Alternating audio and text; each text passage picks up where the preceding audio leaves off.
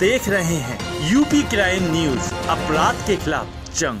नमस्कार, आप देख रहे हैं यूपी क्राइम न्यूज़ और आपके साथ में प्रदीप मिश्रा। भाई रुक करते हैं खबरों की।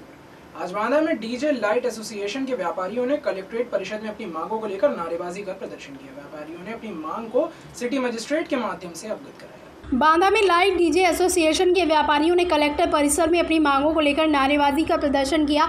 व्यापारियों ने अपनी मांगों को सिटी मजिस्ट्रेट के माध्यम से अवगत कराया। हाईकोर्ट के आदेशानुसार सभी जिलों पर डीजे पर प्रतिबंध लगा दिया गया है, जिसमें बांदा के लाइट डीजे एसोसिएशन के सदस्यों ने शासन के आदेश को मानते हुए मुख्यमंत्री से आग्रह करते हुए कहा कि इसका निवारण तत्काल करा देने की बात कही, जिसके द्वारा व्यापारी अपने व्यापार को सुचारू रूप से चला पाएँ ताकि हम सभी गणेश पूजन मुहर्रम शादी विवाह नवरात्रि महोत्सव और मी, मीटिंग में साउंड सर्विस बजा सके ताकि किसी तरह की रुकावट ना आ सके। व्यापारियों के अध्यक्ष राजकुमार रैकवार का कहना है कि उच्च न्यायालय द्वारा डीजे पर रोक लगा दी गई है जिससे हम लोगों का व्यापार अंधकार में चला गया जिससे हम सभी व्यापारियों को अपने परिवार को पालने के लिए रोजी रोटी चला पाएँ नहीं तो हमारा परिवार भुखमरी की कगार पर आ जाएगा। बांदा के सभी लाइट डीजे के व्यापारियों ने अनुमति प्रदान करने की मांग के लिए सिटी मजिस्ट्रेट के माध्यम से जिलाधिकारी को ज्ञापन सौंपा। जी भैया क्या नाम है आपका? मेरा नाम राजकुमार रायकवार है। अच्छा क्या मैं लाइट एंड डीजे में लाइट एंड डीजे एसोसिएशन का मीडिया प्रभारी हूँ।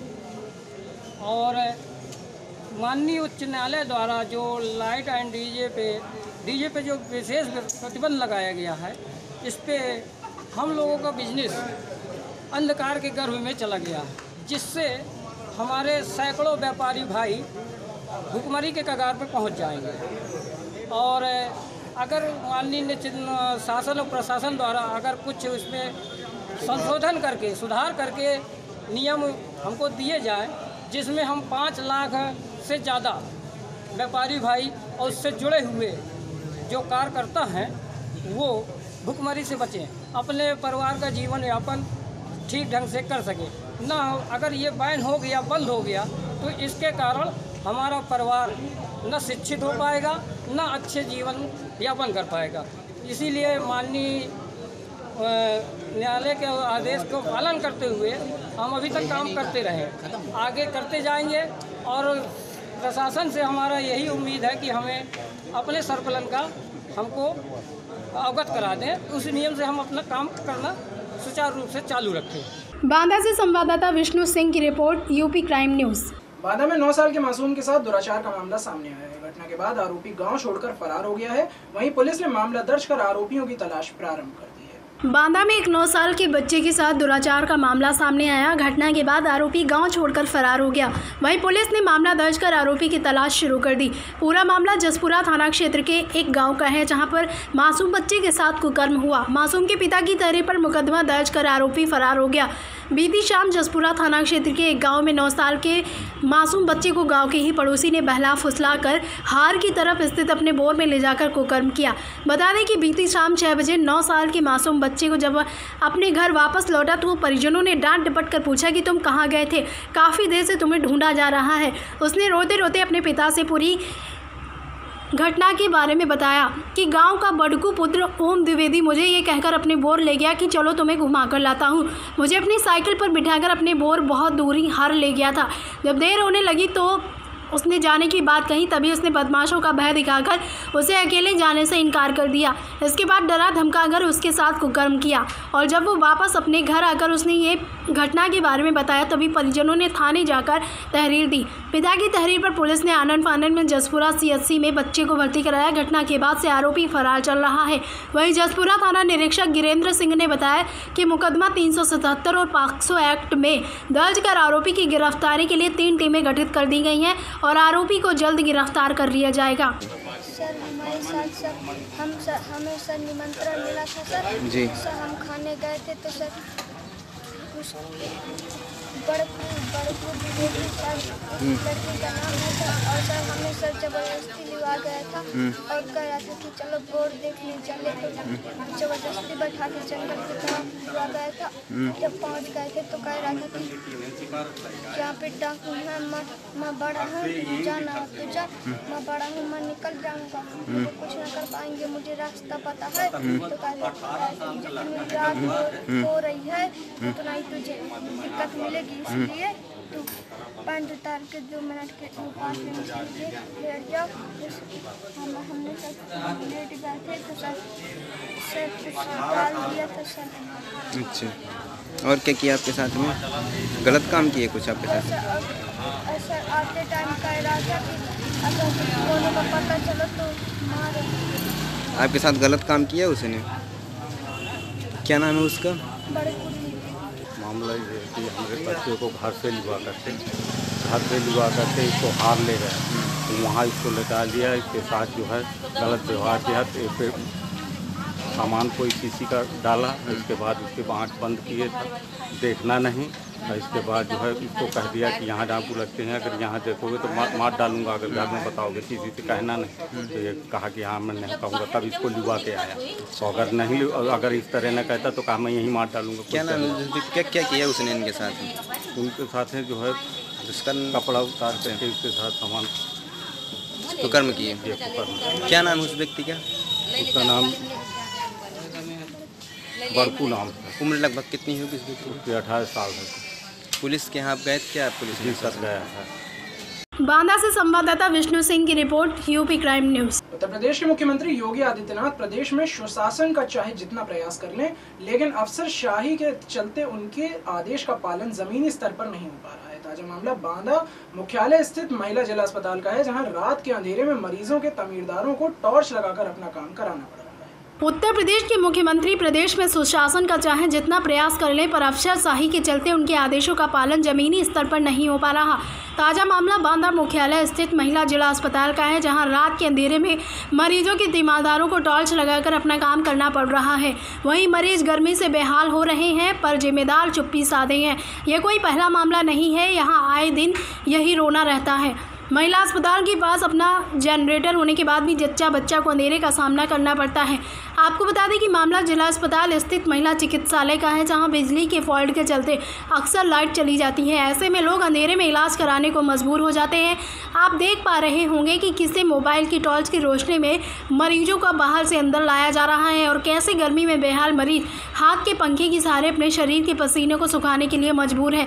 इतना ही नहीं, अस्पताल के स्टाफ में मौजूद नर्सें टॉर्च की ही रोशनी में मरीजें देखती हैं। आपको बता दें कि महिला अस्पताल में रात को ही प्रसव के लिए महिलाएँ भी आती हैं। भगवान ही जाने कैसे उनका प्रसव होता है और जच्चा बच्चा कैसे स्वस्थ रहते हैं। हालाँकि इस मामले में जब अस्पताल के अधिकारियों से बात करनी चाहिए गई तो बात करने से साफ़ करनी काटते नज़र आए। ऐसे टॉर्च की रोशनी में इलाज तो भगवान भरोसे होगा ही, अस्पताल के बाहर रखा। जनरेटर सिर्फ़ दिखावे के लिए है। अब पता नहीं उसका डीजल का उपयोग अस्पताल में होता है या बड़े पेट रखे अफसरों के निजी कार्य के लिए। वाइफ को बच्चा होना था। कल हम चेकअप कराने आए दिन में वही ग्यारह साढ़े ग्यारह बजे। तो लाइट गई तो तुरंत आ गए जनरेटर चालू हो गया था। आज हम अभी पाँच बजे से हैं यहाँ पे। दो बार लाइट जा चुकी। आधा घंटा अभी हो गए आधा घंटे पहले मैडम यहाँ पे मैडम तीन नंबर में बैठी थी। उनके उससे तुरंत चालू हो गया था। अभी दो बार हुए अभी तक चालू नहीं हुआ है। पहले आधे घंटे गई थी अभी करीबन पौन घंटे से ऊपर हो गया। अभी लाइट नहीं आई जब से न जनरेटर चालू हुआ है। ये जिला महिला अस्पताल है हमारे वार्ड में है। वार्ड में अंधेला है मोबाइल जला के पेशेंट लोग सब बैठे हैं। यहाँ की व्यवस्था कुछ ठीक नहीं है यहाँ मेन लाइट ही नहीं है। बांदा से संवाददाता विष्णु सिंह की रिपोर्ट यूपी क्राइम न्यूज़। जनपद बांदा में उस समय हड़कंप मच गया जब पुलिस ने 30 लोगों को गिरफ़्तार कर लिया। इसके बाद चौकी से लेकर थाने तक अफरा तफरी मच गई। वहीं पुलिस ने सभी को शांति भंग करने के मुचलका पर भरी सिटी मजिस्ट्रेट के हाथों सौंप दिया है। मामला बांदा जनपद के सिविल लाइन चौकी का है, जहाँ पुलिस ने डीजे और लाइट के व्यापारियों और कर्मचारियों के 30 लोगों को गिरफ़्तार कर लिया, जिसके बाद संगठन के पदाधिकारी सिविल लाइन चौकी पहुँचे और अपने साथियों को छुड़वाने की कवायद में जुट गए। वहीं संगठन के उपाध्यक्ष ने बताया कि पुलिस ने आकारण ही सभी व्यापारियों, कर्मचारियों को गिरफ़्तार किया है। ये सभी कलेक्ट्रेट परिसर में ज्ञापन देकर वापस लौट रहे थे और गणेश महोत्सव पर डीजे लाइट वालों को बता दिए थे कि किसी प्रकार से भी डीजे ना चलाएँ। वहीं पुलिस का कहना है कि डीजे की रोक के चलते सभी व्यापारी गणेश महोत्सव में लगी लाइटें भी हटवा रहे थे और शांति भंग कर रहे थे, जिसके चलते सभी को गिरफ़्तार कर लिया गया है और उनका चालान कर सिटी मजिस्ट्रेट को सौंप दिया गया है। ज्ञापन दे के लौट रहे थे, साउंड सर्विस का बंद का हवन था। वो लेके जहाँ लाइट लगाए थे वहाँ पे कमेटियों को बताने गए थे कि साउंड सर्विस नहीं चलेगी। इस बीच में किसी व्यक्ति ने शायद फ़ोन कर दिया हो कि कई लोग हैं उस विचार में हाँ जी लोगों वजह उन्होंने अभी तक अवगत नहीं कहा ये बताया कि हमें सूचना मिली कि बहुत सारे लड़के आगे ऊपर तो भर के भर के छोड़ व्यक्ति हैं जो डीजे चलाते हैं। उसी में तीस लोगों को पकड़ लिया। तीस लोग ज्ञापन देने आए थे। ज्ञापन देने के बाद उनको बैठा लिया गया। और पुलिस ने उनको चालान कर दिया। ज्ञापन देने के बाद पुलिस ने बैठा लिया? जी जी हाँ। और कोई अपराध नहीं किया नहीं कहीं बजा रहे। थे अब ये आज जो है मुचल के आधार से सब कुछ होने जा रहा है। कि अगर ये ज्ञापन देने आए थे और ज्ञापन देने में पकड़ के बैठा गया ये तो पुलिस की जाती है। इस पर क्या कहेंगे? तो इसमें अब पुलिस है। पुलिस ने क्या कह के बताया आपको कि क्यों पकड़ा आपको जानकारी दी गई हो? शांति न हो इसके लिए खाली एक वार्निंग दे रहे हैं कि अगली बार आप जो है नवरात्रि आ रही है डीजे नहीं बजाएँ। देखिए माननीय उच्च न्यायालय के निर्देशों के क्रम में डीजे पर जो है समुचित प्रतिबंध लगाया गया है जिसके तहत कुछ डीजे संचालक जो है गतिरोध उत्पन्न कर रहे थे। उनको शांति भंग में जो है उनका एक सौ इक्यावन में चलान किया गया। बाद में उनको जो है निजी मुचलके पर सिटी मजिस्ट्रेट साहब के यहाँ से छोड़ दिया गया है।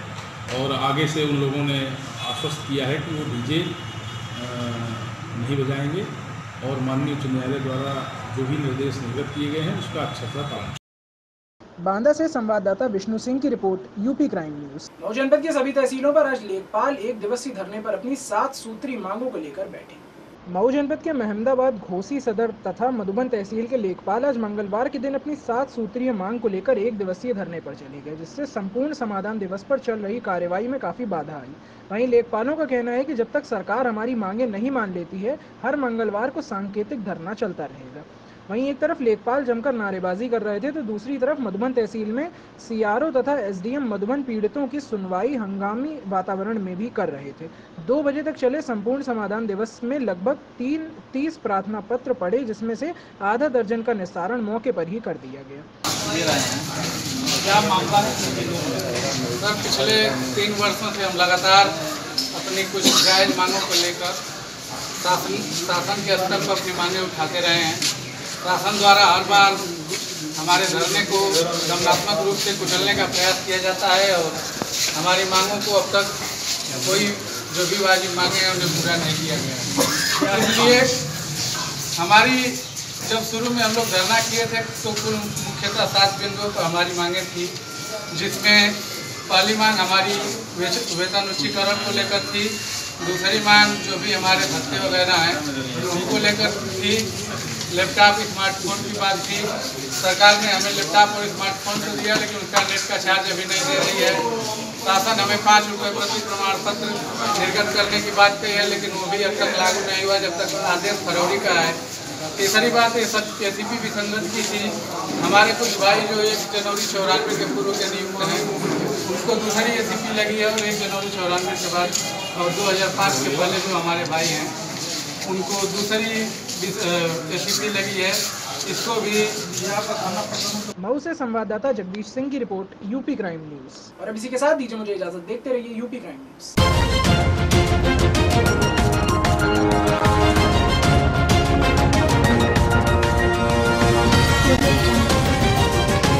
आप देख रहे हैं यूपी क्राइम न्यूज़ अपराध के खिलाफ जंग।